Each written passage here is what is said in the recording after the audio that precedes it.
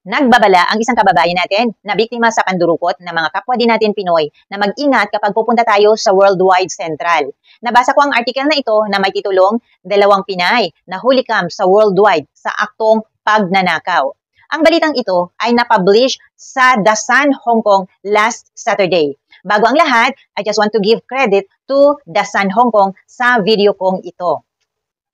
Ayon sa Dasan Hong Kong, naibalik na daw ang pitaka ng isang Pilipina na nadukutan sa Worldwide Plaza kahapon pero wala na ang pera sa loob. Nangyari ito ilang oras na naipost niya sa Facebook ang video footage mula sa tindahan na nagpakita sa isang Pilipina sa aktong dinudukot ang pitaka habang tinatabingan ng kanyang kasabwat. Nakakahiya po ang ginagawa ninyo mga mandurukot nating mga kababayan. Dapat iniwanan ninyo ang ugaling yan sa Pilipinas dahil daladala natin ang pangalan ng ating bansa.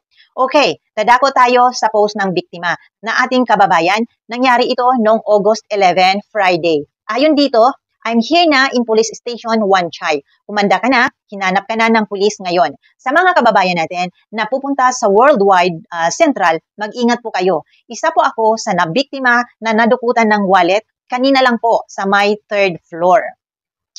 Grabe talaga, nakakahiya.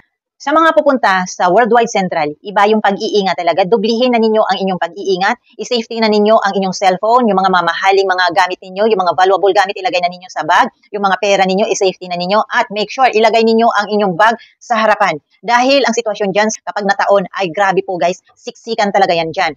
Dyan uh, nandudukot ang mga kababayan natin. Grabe talaga. Uh, ang gagawin po nila, kunwari sisiksik yan sila, pero may mga kasabwat yan. Hindi lang yan gagawa na mag-isa. May kasabwat yan. Kunwari sasagiin kanila, pero meron nang nagmamanipulate dyan sa bag mo. Kaya dubling ingat po guys. Nakakahiya nga lang at nakakasama ng loob na kapwa Pilipino, dinudukutan ninyo. Bakit hindi ninyo iiwan sa Pilipinas ang kakatihan ng inyong mga kamay? Guys, Hong Kong po ito. Safe country dapat, di ba? At panatag tayo na hindi tayo dinudukutan. Pero ang mandurukot lang talaga ay mga Pilipino din. Bihirang-bihira lang makakita ng mga mandurukot dito na mga lokal. At yun, karamihan sa laman ng balita ay ang Pilipino mandurukot. Nakakahiya po guys. Dala-dala natin ang pangalan ng ating bansa ang bansang Pilipinas. Pero yung mga kababayan natin na makakati ang mga kamay, sila lang ang sumisira. Sirang-sira na talaga ang mga Pilipino dito dahil nga lang sa mga kababayan natin na mga makakati ang kamay. Hindi na nakontento sa inyong mga sahod. Ang lalaki ng mga sahod natin. Or talaga bang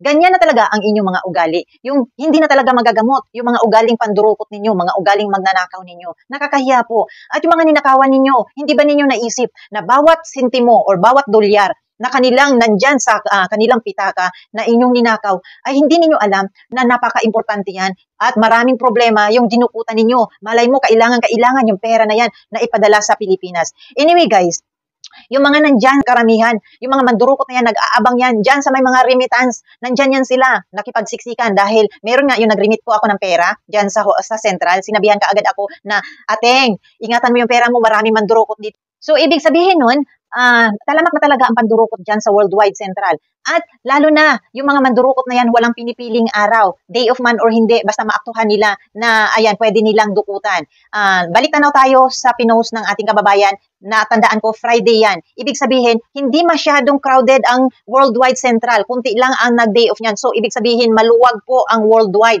Maluwag yung shop na pinuntahan niya. Kaya, uh, nasa site kaagad ni Mandurukot ang kanyang target. Ayan, yun nga, tinabingan lang ng kasama niya at yun, at uh, successful siya na kinuha yung pera yung pitaka ni biktima. Ibig sabihin nun, wala na silang katakot-takot. Ma, uh, lagi na siguro nilang ginagawa yan kahit na hindi masyado, hindi nila talaga iniisip na may camera po. Ibig sabihin, matitrace talaga yan sila sa kaya itigilan ninyo ang pandurukot, nakakahiya na at maawa naman kayo sa inyong mabiktima. Kababain ninyong tao, mga mandurukot kayo, magtrabaho kayo ng patas.